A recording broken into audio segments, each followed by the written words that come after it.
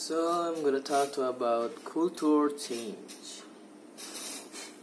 All change in organization is challenging, but perhaps it's most daunting in the changing culture. There are two less reasons for this. Culture is a sub-concept.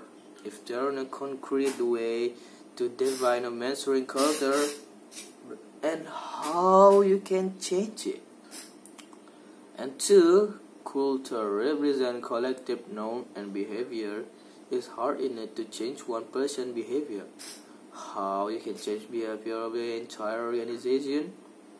I think too hard. Like, well, but if the manager want to build high-performing organization that need to address culture change, here are an example how how we can changing culture.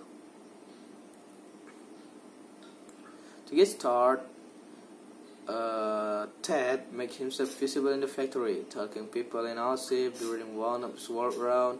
One of the operators asked Who are you? Ted introduces himself and offered to reply, I like you already. We never met in the last plant manager. But Ted quickly realized that the next guy was not going to make enough difference, especially when his observation revealed a negative attitude of many workers and conflict with the functionship individual. To tackle this detrimental aspect of the culture, that convened his leadership team to develop a vision, value statement of the factory, something I've never done before. After something of the struggle, Ted developed high aspirational vision. To be standard organ which all the manufacturing facilities in our country ensure, and said follow up behavior of achieving that vision that includes statements such as embrace conflict resolution and take ownership for our performance. And make the core value missing on a day-to-day basis and provide a true knowledge that leadership team can have common direction for change. And real talent of course translating their behavior which will constitute new culture into reality. Now there also a communication channel in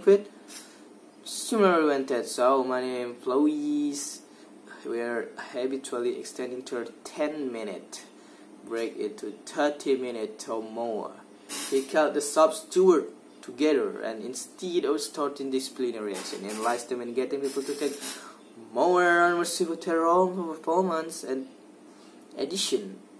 He practiced uh, Proactive teaching such to bring together previously working group and individually into an scope.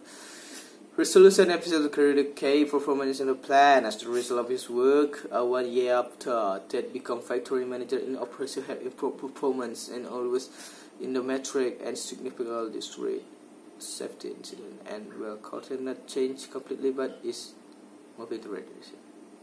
I think that's all. Thank you. Cheers.